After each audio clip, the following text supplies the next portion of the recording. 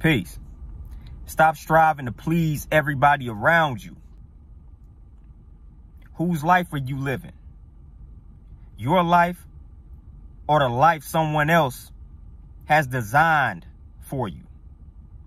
Or the life someone else wants you to live? If the answer is not the life you have designed for yourself, it's time to reevaluate. Other people's happiness is not your job, nor is it your priority. Because at the end of the day, these same people that you going out of your way to please, I guarantee you, they not prioritizing your happiness. I guarantee you, they not prioritizing your peace. So why are you bending over backwards to make sure that they are happy and satisfied? Stop doing that. Prioritize your happiness. Prioritize your peace.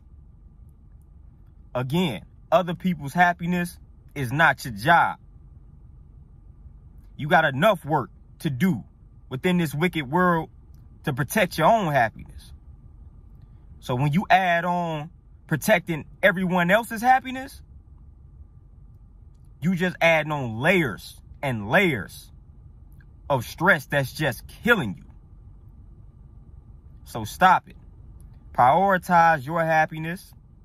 Stop going out of your way to please any and everybody because they will not and they are not doing the same for you. Peace.